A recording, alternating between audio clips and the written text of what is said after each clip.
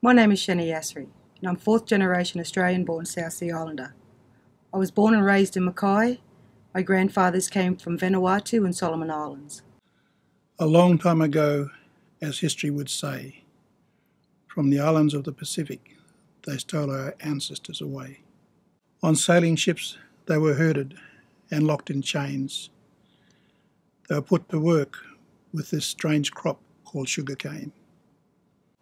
I was about nine or ten years of age, and I remember going out to my dad's cane farm. He had to feed the horses while his boss was away.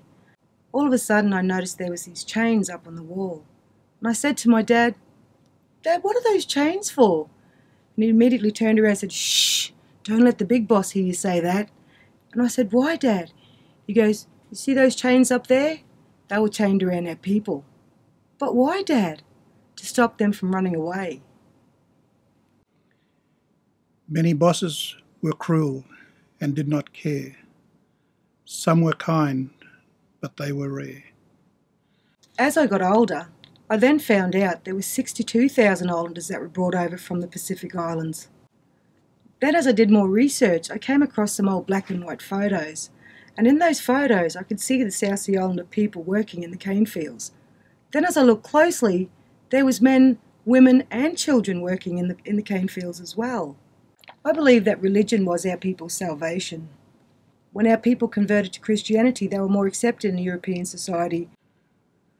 Over a hundred years later, in the cane fields, we still work, not as slaves, but with air cabs, stereos, and a few other perks.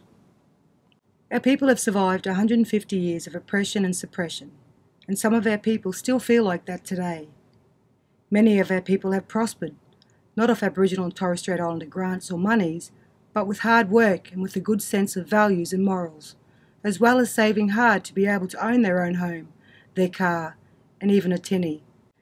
And although we may not be practicing Christians, it is those Christian values and morals that we were brought up on and that we instill in our children today. What does 150 years mean to me? Remembering our history and telling our story as well as celebrating our people's survival and prosperity. As our bodies grow old and our spirits grow tired, with dim eyes we look back with pride.